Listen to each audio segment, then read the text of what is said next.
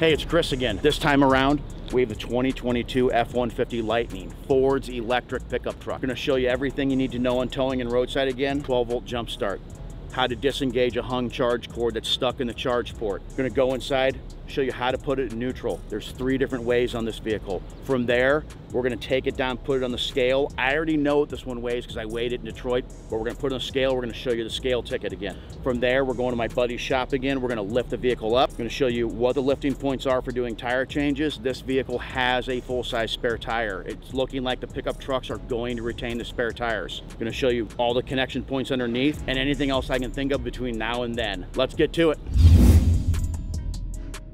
What we have here is an F-150 with a dead 12 volt battery. So customarily we'd walk up to the vehicle when it has 12 volt charge, grab the handle with our fob in our pocket, it would recognize we're here and it would open the door for us. It would unlock the door, we could enter the vehicle. Being there's nothing on the 12 volt side, we don't have that. We're gonna have to go into the lock cylinder. So this one has a key in the back of the fob. It is cut, it is functional. Come over, put in the lock cylinder, quarter turn clockwise, vehicle opens. Everything on the door of the F-150 Lightning, for the most part, is the same as the ICE truck, the internal combustion engine truck. From here, I'm gonna show you how to open that front cover mechanically to then do a 12 volt jump. So from here, we're gonna go in, mechanical release, I'm gonna pull back the cover, simply pull on the red tether, that will release the front trunk. From there, we're gonna go up and gently pull the front trunk up because that cover is on two actuators. So we wanna make sure we're very delicate in pulling that up. So when you pull that release in there, you wanna give it a good tug so your front trunk panel actually deploys correctly. From there, come in, pull it up real slow. So we need to get this panel out. On this one, they've made it really easy on us. They've just given us a series of twist lock fasteners. They just get turn, a quarter turn, counterclockwise to disengage all of them. There's quite a few here. Just make sure you get all of them and just come through here and systematically take each one loose. If you get to one that's hung up a little bit, just give it a little jiggle. It'll come loose and the panel comes out with relative ease. So we have the positive and negative jump posts really close here on the passenger side fender apron of this F-150 Lightning. Ford wants us jumping this vehicle from an ICE vehicle, an internal combustion engine vehicle. They do not want this platform jumped from another EV. So when you're jumping from a donor vehicle, keep that in mind. You don't want to be going EV to EV. The connection protocol here is really simple. So we're going to come in here, we're going to make our positive connection to the disabled Lightning first. From there, we're going to make our positive connection to the donor vehicle. Then the negative connection to the donor vehicle, and then finally we're gonna make our negative connection to this remote jump post here in the chassis of the disabled F-150 Lightning. We're gonna leave the vehicles connected for about three to four minutes. From there, go in, hit the start stop button with the key fob present, the vehicle should initialize, it should turn on. When it turns on, the vehicle will begin to harvest energy out of the high voltage battery through a series of inverters and converters to recover the flat or dead 12 volt battery in the F-150 Lightning here. After that, we're gonna come out here, we're gonna make all of our disconnections in the opposite order we connected them in. So we're going to disconnect the ground lug here on the disabled F-150 Lightning first, the negative on the donor vehicle, the positive on the donor vehicle, and then finally the last disconnection will be the positive jump lug here on the disabled F-150 Lightning. After that, we're gonna simply reinstall this panel, line up all the, all the fasteners, twist lock them down, one quarter turn clockwise, and you'd be all buttoned up over here. In the rare event that you would experience an F-150 Lightning that has a hung charge cord, a charge cord that just for whatever reason refuses to disengage from the vehicle, we do have a mechanical release in this vehicle, so there's no need to take the, the charger apart and take the cord and throw it in here and take it to the dealership. I've seen some other vehicles being towed in the last couple weeks where somebody's had to do that. We don't have to do that in the F-150 Lightning. We have a mechanical release, so there's no need to endure that kind of pain with this platform. What we're gonna do is we're gonna come in here, we're gonna remove this panel. It's a series of twist lock fasteners. I always start here in the front. It's easy to get to. Just quarter turn counterclockwise. We'll disengage the fasteners. There's quite a few of them. Take your time, identify where all of them are, release them all. I like to start right here in the front, go through here, and systematically pop all them loose. And that's how easy that panel comes out. Now that we have this panel off, we're looking for two things in here. The first is the low voltage service disconnect. It's this green plug here. The next is the charge coupler release cable. It's a yellow tab mounted on this small coolant tank. What we wanna do before we go trying to disconnect the cable, we need to open this circuit, this low voltage service disconnect circuit. We're gonna come in here, pull up on this red tab, press the latch, open the circuit.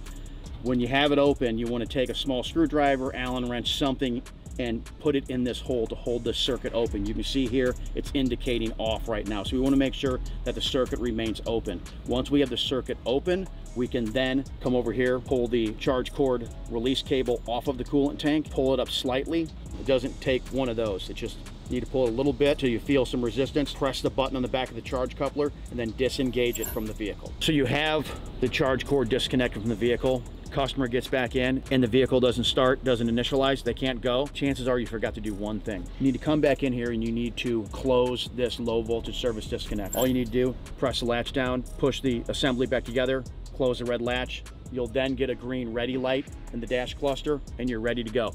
So if you get up through all this and there's an issue with the platform, go in there, see if you have the green ready light. If you don't have the green ready light, chances are you have a problem right here. Now I'm gonna show you the easy way to do it. I wanted to take the panel out so you could visualize where everything is, but the reality is with this platform, you can really reach right through here. I mean, I get my hand almost my elbow down in here. And if you look, the low voltage service disconnect is right there. The charge cable's right there.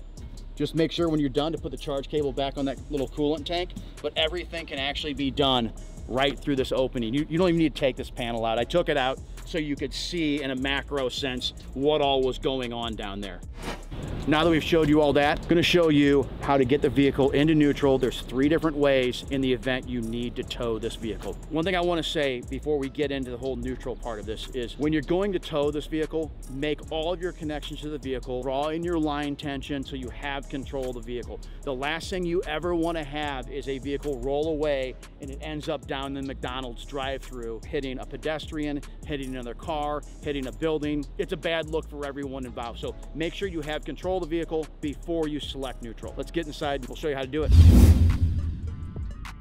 So before we go getting into how to get this vehicle in neutral, for anybody who has had any experience with the 2020, I believe in newer F-150s that have gone to this style shifter, there was a release down here it does not exist anymore. There are no mechanical releases in the F-150 Lightning at all. Everything is electronically shifted. There's no transmission or any of that anymore. You simply have two drive motors in this in this particular platform, and you've got an electronic park pawl back there. So don't come in here looking for something that you're accustomed to seeing. Don't try to break this down looking for a mechanical release. It does not exist in the Lightning platform. So we're gonna go through this least direct to most direct. The least direct method to get this vehicle in neutral come in here, key fob present, press the F-150 lightning icon, go to settings, scroll down here to vehicle, press vehicle, go all the way to the bottom, and you'll see emergency tow. Press and hold to initialize. Simply press that, hold it. It'll say place vehicle neutral. Come in here, place the vehicle neutral. This N button next to the shifter, press it twice, you'll see over here, neutral tow engaged, turn ignition off for towing. From there, all you need to do, turn the vehicle off and then load it onto the carrier. You already have your connections and everything made, you're good to go. Load it onto the carrier, it will stay in neutral for 30 minutes and it will revert back to park. So the next method to get the F-150 Lightning in neutral is you come in here and if for some reason you don't have a green ready light down here in the dash cluster, all you need to do, put your foot all the way down on the brake, all the way down on the gas, it's gonna unlock this shifter. You can bring it back into neutral. Press the neutral hold button over here twice. You're gonna display up here 30 minute neutral mode enabled. From there, you'll turn the vehicle off and you'll load it to the carrier. So the easiest, most direct route, come in here. If you have the key fob present, put your foot on the brake, press the start stop button. You'll get a green ready light over here on the left-hand side of the cluster. All you need to do, shift the vehicle in neutral, press the neutral hold button twice, you're gonna go 30 minute neutral mode enabled. Once again, load it to the carrier. If you get in this vehicle and the shifter is down in this position, all you need to do is press this silver button. It will deploy the shifter. It will come up, then you can actuate the shifter. If you're working with a vehicle that has a dead 12 volt battery, you are going to need to go up there and energize the 12 volt battery, do a 12 volt jump to be able to shift this vehicle in any capacity, regardless if the shifter is up or down. If you do not have 12 volt energy, this vehicle will not shift into neutral.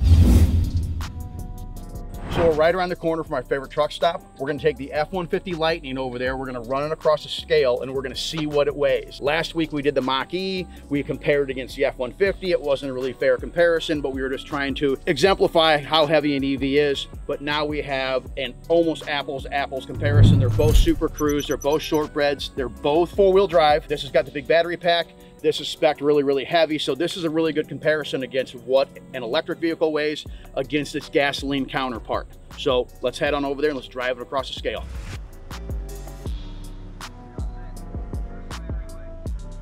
Okay, so this one does not surprise me. I kind of had an idea we were going to come in in the neighborhood we came in in because I had the same platform on scales in Detroit and it came out in the neighborhood of what we were weighing up there. To revisit what the gasoline truck weighs, because we, we tinkered with this last time, that's my personal truck. I run it around with a bunch of gear in it. It came in at 5780 last time and it's probably four, five, 600 pounds heavy with all the junk I carry in it. So Ford calls it 5100. So we'll call it 51, 5200 just to be conservative. F-150 Lightning, 7120. 7,100 pounds for a half ton electric pickup truck. So what I want you to keep in mind when you're handling this platform, 7,100 is like three quarter ton, one ton single wheel diesel territory for curb weight. Once again, it's a heavy half ton truck. When you handle it, it needs, it really needs to be on 26K or better carrier. You need a 26,000 pound GVWR carrier or better. You don't want to be putting this on those smaller trucks. It's really too much weight for it. Trust me, I've scaled a similar platform on those smaller trucks. It is too much weight. We were about 1,400 pounds over on the rear axle of an F600 to put things in perspective with a truck that weighed this much. The other thing to keep in mind is if you look here, we're almost a 50-50 split. And what I've discovered over time is these vehicles that are 50-50 split, almost all that weight goes on the rear axle of those small carriers. It's really hard to roll weight into the front axle of that truck. So from here, let's go put this on the lift and let's take a look at what it looks like underneath. Let's go. So we've got the F-150 Lightning up in the air here. We're gonna go through, we're gonna talk about a bunch of stuff underneath. One of them being the new rear suspension. I'm gonna show you jacking points. This vehicle does have a spare tire. It's one of the few EVs that still retains a spare tire. I'm gonna show you where the jacking locations are because there's four jacking locations. That's the only place you can jack the vehicle up. I'm gonna show you connection points to bring it onto a carrier, battery location, just give you an idea of what's going on underneath. Okay, like I said before, we still have a tire in the vehicle. It is, it is a full-size tire. Customer gets a flat, you need to change a tire. It's really easy to do. We'll show you how you get them down back here, but it does have a full-size tire. Rather simple to get out. They have changed the rear suspension in the vehicle. They've gone away from the live axle and gone to this independent rear suspension. The control arms are aluminum. There's no more jacking this vehicle up by the rear end, by the axle, by anything. You have to go on the dedicated jacking points. If you come in here and you try to just toss a jack right here, you're gonna damage this skid plate. If you try to jack up by the control arms, it's gonna be evident what you did. There's gonna be some tooling marks on the control arms. So we want to stay away from that. So F-150 Lightning is still a body on frame construction like the gasoline counterpart of the vehicle. The battery lives inside the frame rails where the transmission and the engine kind of came down up here. So this is all battery. Once again, we want to stay away from the battery. We don't want to get a jack inside the frame rails and inadvertently jack up on the battery and damage a battery or in any of these skid plates. We want to stay away from the battery entirely. So we're over here on the driver's side of the vehicle. You can see here, we still have a frame rail, batteries inside of it. You look right here, there's an arrow. This is one of the jacking locations. So there's on each corner, there's an arrow stamped in the frame. Wherever that arrow is stamped is a lifting or a jacking location. You get an idea, it's still body on frame construction. Once again, we're not putting jacks underneath the rear end of the vehicle. We're not putting under the front suspension. Those four places on the frame that are stamped with the arrow, those are the only four places that you can jack the vehicle up. Throw up here in the front driver's side of the vehicle. I'm Gonna show you where to connect, where not to connect. There's some slots up here in the front of the rails that people have been connecting to. I've been seeing some damage claims come through on F-150s, really all F-Series pickup trucks. Guys have been using these slots up here in the frame rail. They're really intended more for long haul transporting. Ford has identified some slots back there in the frame rail. They're farther back, gives you a better departure angle of your bridle. If you got a nylon bridle coming across here, it's not gonna damage this valance here. So come on back, let's take a look at that. So we're back here behind the front axle of the vehicle. Right behind the front sway bar, there's a slot right here in the rail on each side. Ford has identified this as a connection point. Throw a mini J on each side, nylon bridle. It departs very well, clean, flat, across this skid plate lightly touches a valance, it loads really, really easy with no damage. So we've got our connections made to the front and those frame rails and those slots I showed you right behind the sway bar. We're back here into the back end. I know for you guys that like to, to run vehicles down on winches, you, you have to stop doing it, especially with these EV platforms. You cannot run these EV platforms down on winches. I've seen some guys in the groups doing it. I know it's being done. I know it's easy to come in here with a big meat hook and throw it around this rear control arm, run it down in the winch. Can't do it. You're gonna damage something up here on the control arm in the suspension. So winch it to the carrier, get it where you want it, bind it down with an eight point kit and it's gonna stay put. So you have a wrecker and dollies and you're gonna tow the F-150. You can pick the F-150 up by the rear end. The front end will roll. There's no brake on that front end, but with a four-wheel drive platform, you do have an electric motor up there. So if you were to lift this up with a wheel lift wrecker and drive away, you are going to damage that front motor in some, some form or fashion. You're gonna have a thermal event in the motor. So if you have to move an F-150 Lightning with a wrecker and dollies, move it with the wrecker and dollies and make sure you strap it down very well in the dollies. Keep in mind what your dollies are rated for. There's only one set of dollies I know that is really rated for what this truck weighs. And uh, I think it's a Collins heavy duty set. Not a lot of people have them because they're really expensive. That's the only set I would even trust under this platform. Honestly, personally, I wouldn't even move it with a wrecker and dollies, but for you guys in the repo space, like we talked about with Mach-E, I understand that you guys are under the gun and that's the fastest way to do stuff. For you repossession agents, if you ever have to pick up one of these F-150 Lightnings, you gotta get those dollies down. There's no hooking it and running around the corner then setting dollies. This, this platform's not gonna withstand that, that front motor. You get that front motor moving really fast, you're gonna have a thermal event up there. So you're gonna have to set dollies right where it sits and take it if that's how you have to move this vehicle. So the jack and the toolkit are where they've been in, in the F-150 for years. Passenger side, behind the rear seat, pull the tether and the seat back, and pull it pulls forward. Nice thing is these come out easier than they have in years past. They've got a T-bolt that holds them down nowadays. Unscrew the T-bolt, jack comes out with relative ease. Before you had to kind of shimmy it around, it was Velcroed in. It, it, it does come out easier now than it has in years past. So once you have the jack and the toolkit and everything out to change a tire, you're gonna come back here. We still have a lock back here to prevent theft of the, of the spare tire. So if you're doing a tire change for a customer and you don't have the fob, you're gonna need to get the fob because you need to have their key to get this open. Put the key blade in there, turn it counterclockwise, this comes out, that's all that is. And then you're gonna assemble all your rods with the lug wrench, run them in there, hit the winch that brings the tire up, run the tire down, take it out, do your tire change. If there's any vehicle platforms that are giving you guys trouble, giving your company trouble, your team of drivers trouble, drop a comment, like, subscribe, and I'd appreciate if you referred me to other folks in the towing space.